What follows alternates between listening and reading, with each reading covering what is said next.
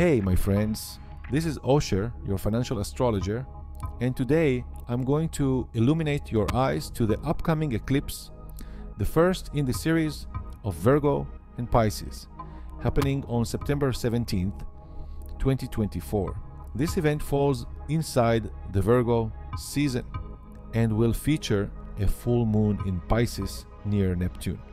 With Saturn and Neptune retrograding in Pisces, and the North Node set to enter Pisces by the end of the year.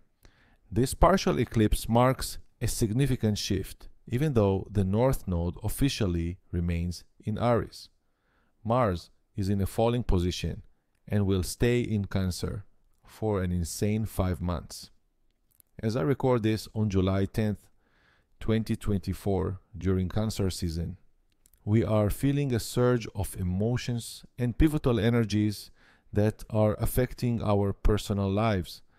Many people are experiencing physical symptoms and emotional instabilities.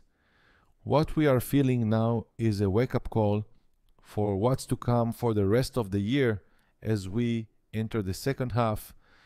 Mars remaining in Cancer until February 2025 means a lot for us especially in November, which is an important month for the United States with the election. Mars will oppose Pluto, which will return to the last degrees of Capricorn for the final time in our lives. This is dramatic and continues to reflect the shift that started from 2019 to 2020, changing the old world. The eclipse on September 17th opens us to a challenging 12 months ahead. The energy will be low and diseases may increase. Mars represents our immune system, and as I record this, Mars is ready to meet Uranus, urging us to adjust and rest, to adapt to the new frequencies that our Earth and DNA are transforming right now.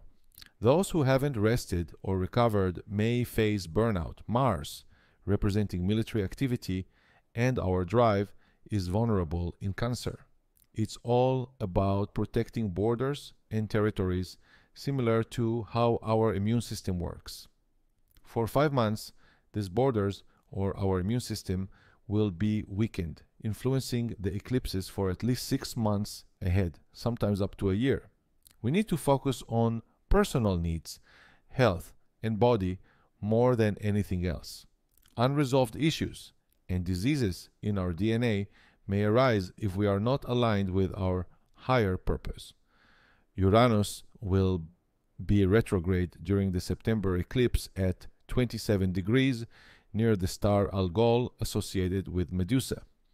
This wakes us up to our spiritual abilities, pulling us away from the zombie like state of victimization and material possession. This is a wake up call to change our values emphasizing that health and relationships are more important than money. The eclipse period can harshly affect the market, potentially leading to significant corrections. Venus will oppose Chiron at 22 degrees, reminding us of the Pluto Saturn conjunction in Capricorn. Venus ruling the South Node and being home in Libra may reveal scars and unfair truths, potentially leading to more divorces, retirements, and broken contracts. This eclipse calls us to awaken to spirituality, moving beyond work and materialism. Trusting the unknown and the so called God without trying to understand everything is crucial.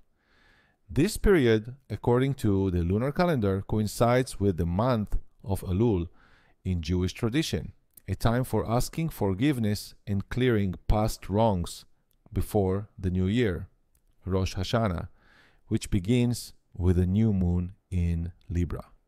In Virgo season, we are detoxing and clearing all that has poisoned us.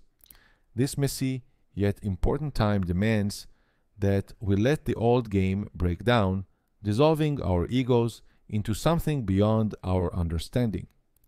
AI is replacing many aspects of our lives just as crypto has transformed financial values in recent years. Many continue to work and value things based on outdated concepts, but this eclipse will push us towards a new order that is very different from what we have learned and imagined.